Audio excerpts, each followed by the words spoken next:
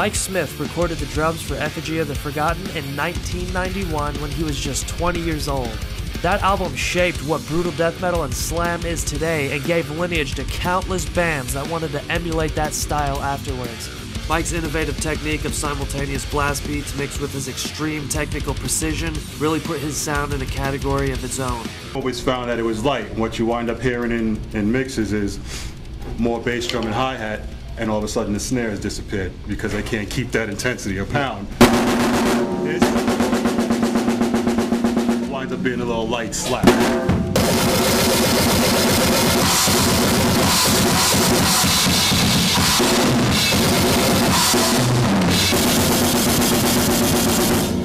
Heard the difference, right? Yeah.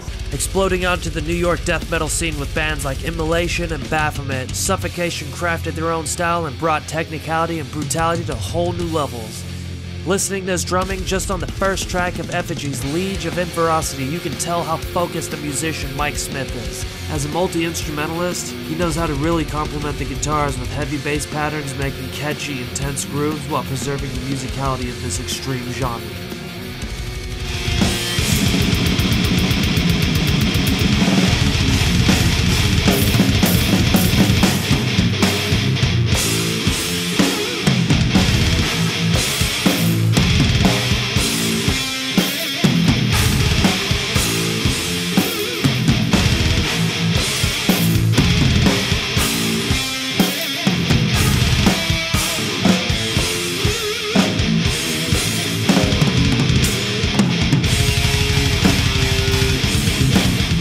George Kollias, born in Greece 1977, the bulldozer of apocalyptic percussion behind Nile's massive sound. He's been full time with the band since 2004 and also started the extreme drumming department in Athens Modern Music School in 2006. He's released multiple instructional videos on what different techniques he likes to implement in his playing, such as using leg muscles for eighth notes, leg and ankle muscles for 16th notes, and for 30 second notes, he only uses ankle movements.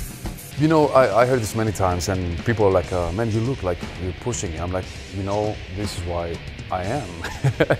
I'm pushing everything I have, and yeah, people see it. Uh, see it. I think it's it's it's very obvious. But the other thing is, what what's going on in your mind? You know, I'm I'm doing math, and uh, some signatures will be really against the the, the flow. Odd parts like uh, sevens and elevens and nines, and so there are many different factors. It's a really demanding style of music, and um, I enjoy it, although I suffer. He's written a book on extreme metal drumming. He's released a solo album where he wrote all the instruments leads and did all the vocals, and continues to play clinics, teach countless students, and profess the holy teachings of extreme metal.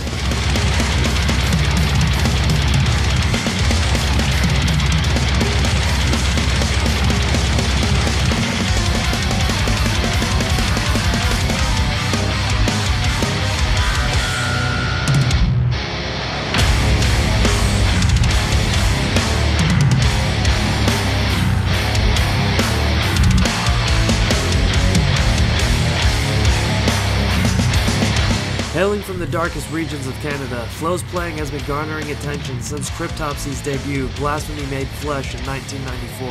Flo takes an extremely technical approach to drums that require almost inhuman actions to perform. Maintaining control while experimenting with creativity are major driving factors in Flo's drumming.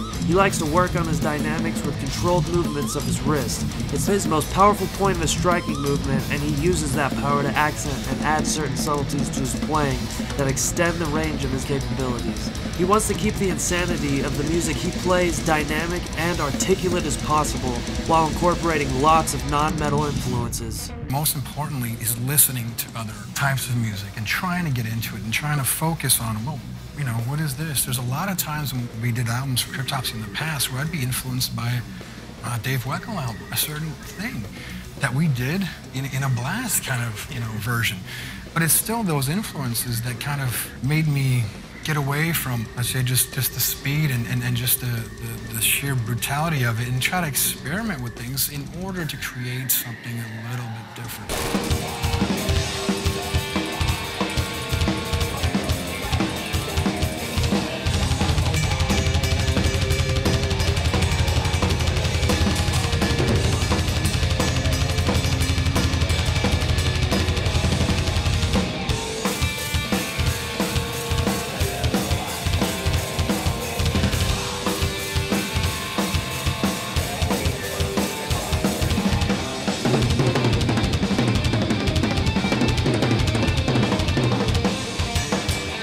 Gene Hoglan is known for a multitude of reasons in the metal scene.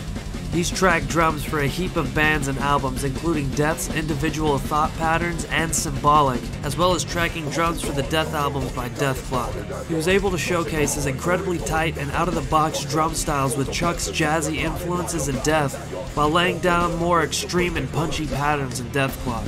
The cartoon Metalocalypse exploded in popularity, and Gene got to show his drum abilities to the world on Cartoon Network practically every night for years. He also used to roadie for Slayer and even got Dave Lombardo's double bass foot technique in working order for Haunting the Chapel. Um, you know, I've always used big, heavy weighted sticks or something, but these days I just, you know, three sticks.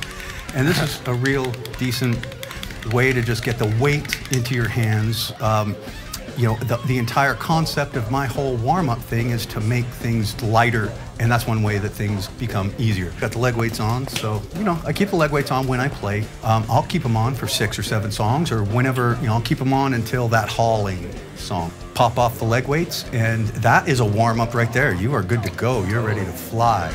It goes without saying that his presence and influence in metal will forever be hailed as legendary. Before we reveal the final pick, here's just a few honorable mentions.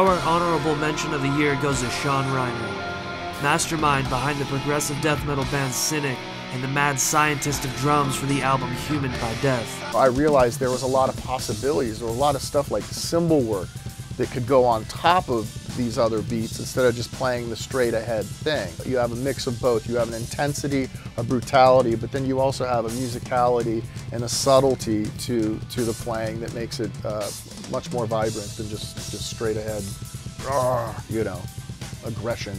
Mixing metal drum techniques with fusion elements and other genres, Sean laid the groundwork for future death metal bands and became highly inspirational to many, really mixing up the idea of what it means to play heavy music. Sean passed away on January 24, 2020, leaving a gaping void in the soul of the metal community, his family members, and all his fans. You will sorely be missed.